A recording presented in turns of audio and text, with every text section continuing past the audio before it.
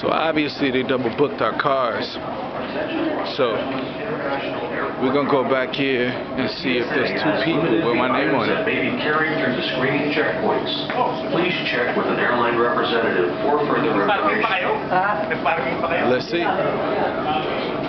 Are you for Eugene Long? Yeah, Okay. Um, obviously they double booked. right. So the other guy is down there. And Niecy, Niecy Nash, she flew a 6 o'clock flight in the morning, so she's here already.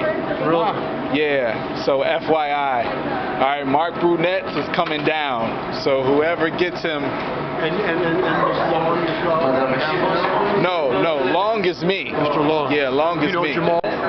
Jamal? Yeah. No, Jamal's not flying with us. I know that. You know Jamal? Yeah, I know My name Jamal. is Manny. How you doing? I'm friends with Jamal. Okay, Probably perfect. go with this gentleman. Well, they got my bags already. I'm sorry. And they got two people with our names on it. Yeah, I know, right? Never send other people home. Really? Yeah, because I got a guy that got my bags already, but they got two people with my name on it. Honey, there's no pictures there. I gu- I guess we're good. All right, you guys have a safe trip home. I'm out of here, man. Take it easy.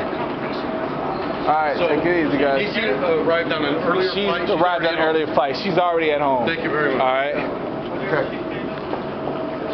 I don't know why they had two people with our name on it. Because I got a guy already. Okay, it's going to go over here where she is. They were car service. So. I'm going to have the same moment you guys. She came home at six AM. Have you been at the same moment here? Yeah, that's what I'm saying. She says, "Leave it right now." We have about 12 people on the flight. All right, you're good. All right, so you have a safe trip home, man. Hmm.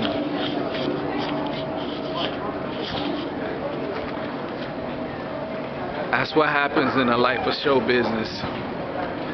When a company really takes care of you, they order two sets of car service so they make sure you're getting home safe. That's what happens. We get money, baby. We get money.